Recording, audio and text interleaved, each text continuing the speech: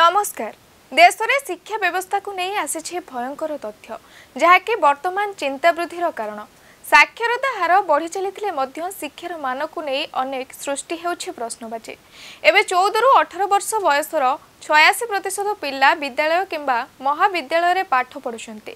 ମାତ୍ର ଏମାନଙ୍କ ମଧ୍ୟରୁ ଏକ ଚତୁର୍ଥାଂଶ ତଥା ପଚିଶ ପ୍ରତିଶତ ଯୁବଗୋଷ୍ଠୀ ନିଜ ଆଞ୍ଚଳିକ ଭାଷାରେ ଥିବା ଦ୍ୱିତୀୟ ଶ୍ରେଣୀର ପାଠ ପଢ଼ିପାରୁନାହାନ୍ତି। ସେହିପରି ଅତି କମ୍ରେ ଇଂରାଜୀ ବାକ୍ୟ ପଢ଼ିପାରୁନାହାନ୍ତି ବୟାଳିଶ ଦଶମିକ ସାତ ପ୍ରତିଶତ ଯୁବଗୋଷ୍ଠୀ। ବୁଧବାର ଜାରି annual status of education report ଏଏସ୍ଇଆର୍ରେ ଏନେଇ କରାଯାଇଛି ଦାବି। ରିପୋର୍ଟ ଅନୁଯାୟୀ ଦୁଇହଜାର ସତରରେ ଛଅସ୍ତରୀ ଦଶମିକ ଛଅ ପ୍ରତିଶତ ପିଲା ଦ୍ୱିତୀୟ ଶ୍ରେଣୀର ପାଠ ପଢ଼ିପାରୁନଥିଲେ। ଦୁଇହଜାର ତେଇଶରେ ଏହି ସଂଖ୍ୟା ହ୍ରାସ ପାଇ ପହଞ୍ଚି ଯାଇଛି ତେସ୍ତରୀ ଦଶମିକ ଛଅ ପ୍ରତିଶତରେ। ଦେଶରେ ଡିଜିଟାଲ କ୍ଷେତ୍ରରେ ଆସିବାକୁ ଯାଉଛି ବୈପ୍ଳବିକ ପରିବର୍ତ୍ତନ। ଭବିଷ୍ୟତରେ ବାସ୍ତବ ରୂପ ନେବ direct to mobile broadcasting system ଏଣିକି ବିନା ଇଣ୍ଟରନେଟ୍ ବିନା ସିମ୍ କାର୍ଡରେ ନିଜ ମୋବାଇଲରେ ଲାଇଭ୍ ଭିଡ଼ିଓ ଦେଖିପାରିବେ ଲୋକେ। ପୂର୍ବରୁ ମୋବାଇଲ ବ୍ୟବହାରକାରୀଙ୍କୁ ଭିଡ଼ିଓ ଦେଖିବାକୁ ସିମ୍ କାର୍ଡ ଏବଂ ଇଣ୍ଟରନେଟ୍ ଆବଶ୍ୟକତା ପଡ଼ୁଥିବା ବେଳେ ବର୍ତ୍ତମାନ ଏସବୁରୁ ମିଳିବ ଆଶ୍ୱସ୍ତି।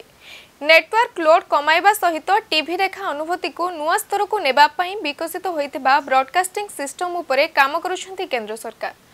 ଆଇଆଇଟି କାନପୁର ଏବଂ ସଂଖ୍ୟା ଲ୍ୟାବ୍ସ ପକ୍ଷରୁ ଏହି ନୂଆ ପ୍ରଯୁକ୍ତିବିଦ୍ୟାକୁ କରାଯାଇଛି ବିକଶିତ। ଟି ଟ୍ୱେଣ୍ଟି ସିରିଜ୍ର ତୃତୀୟ ମ୍ୟାଚ୍ରେ ଆଫଗାନିସ୍ତାନକୁ ହରାଇ ବିଜୟ ହୋଇଛି ଭାରତ। ପ୍ରଥମେ ବ୍ୟାଟିଂ କରି ଦୁଇଶହ ବାର ରନ୍ କରିଥିଲା ଭାରତୀୟ ଦଳ। ଏହାର ଜବାବରେ ରନ୍ର ବରାବରୀ ମଧ୍ୟ କରିଥିଲା ଆଫଗାନିସ୍ତାନ ଯାହାଫଳରେ ଟାଏ ହୋଇଯାଇଥିଲା ମ୍ୟାଚ୍। ତେଣୁ ମ୍ୟାଚ୍ର ଫଳାଫଳ ବାହାରିବା ପାଇଁ ହୋଇଥିଲା ସୁପର ଓଭର। ଏହି ସମୟରେ ଭାରତୀୟ ଅଧିନାୟକ ରୋହିତ ଶର୍ମାଙ୍କୁ ପ୍ଲେୟର ଅଫ୍ ଦ ମ୍ୟାଚ୍ ଭାବେ କରାଯାଇଛି ଚୟନ। ଆଜି ଦ୍ୱୈତ ନଗରୀରେ ସକାଳୁ ସକାଳୁ ଦେଖିବାକୁ ମିଳିଥିଲା ଘନ କୁହୁଡ଼ିର ଆସ୍ତରଣ ଫଳରେ ରାଜରାସ୍ତାରେ ବାଧାପ୍ରାପ୍ତ ହୋଇଥିଲା ଯାତାୟତ। ଅନ୍ୟପଟେ ଏଣିକି ହ୍ରାସ ପାଇବ ରାତିର ତାପମାତ୍ରା। ଅଧିକାଂଶ ସ୍ଥାନରେ ଦୁଇରୁ ତିନି ଡିଗ୍ରୀ ତାପମାତ୍ରା କମିବାକୁ ଥିବାରୁ ଶୀତର ପ୍ରକୋପ ପୁଣି ଥରେ ବୃଦ୍ଧି ପାଇବ ବୋଲି ଆକଳନ କରିଛି ପାଣିପାଗ କେନ୍ଦ୍ର। ଅପରାହ୍ନ ସମ୍ବାଦ ଆଜି ପାଇଁ ଏତିକି। ନମସ୍କାର।